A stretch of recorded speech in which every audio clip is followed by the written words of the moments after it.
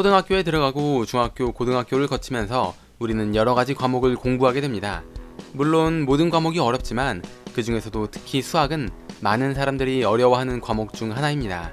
더하기나 빼기를 할 때는 그나마 괜찮았지만 곱하기와 나누기를 할 때부터 조금씩 난이도가 올라가더니 x, y, 루트가 등장하고 팩토리얼, limit, 시그마, 알파, 베타, 감마, 오메가 등등 숫자가 아닌 알 수 없는 기호들이 등장하기 시작하면 내 머릿속도 지금 무슨 생각을 하고 있는지 알 수 없게 되어버립니다. 그리고는 결국 수학을 포기하는 수포자가 되어버리죠. 사람들이 수학을 어려워하는 이유는 무엇이며 어떻게 해야 수포자에서 탈출할 수 있을까요? 이 영상을 보고 있는 여러분들은 어떤가요? 수학은 어려운 과목인가요? 수학이라는 단어를 듣는 것만으로도 머리가 아프고 토가 나올 것 같나요? 그렇다면 수학 불안이라는 것을 겪고 있을 가능성이 높습니다.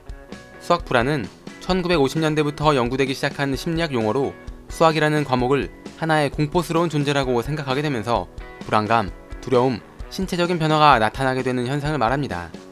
수학 시간이 되거나 수학 시험을 볼 때면 다른 과목일 때보다 심장이 더 빨리 뛰고 땀이 나며 집중을 할 수 없게 됩니다.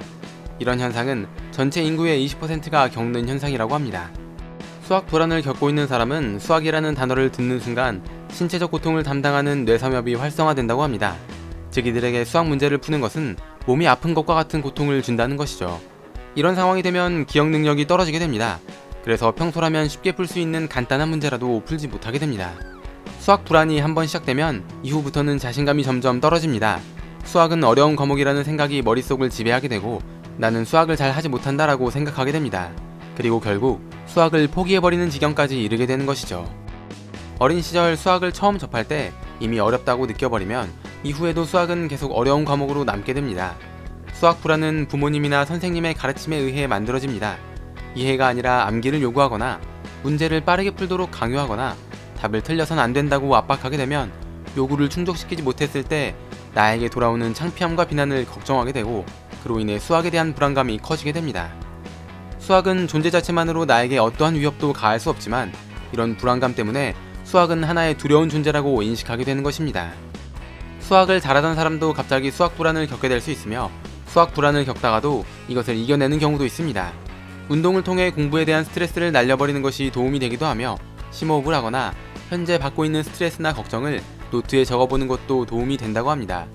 그리고 무엇보다 중요한 건 나는 이 문제를 풀 수 있을 것이다 라고 생각하고 스스로 자신감을 가지는 것이라고 합니다. 수학은 어려운 과목입니다. 그렇기 때문에 잘하기 위해선 많은 노력이 필요하죠. 공부를 할 때 틀리는 것에 너무 큰 스트레스를 받지 말고 충분한 시간을 가지고 문제를 풀어보는 것이 수학 불안을 이겨낼 수 있는 최고의 방법이라고 합니다.